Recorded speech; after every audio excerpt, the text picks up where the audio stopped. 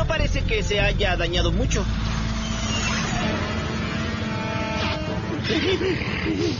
¿En serio? Desde aquí arriba parece que destruiste nuestra base.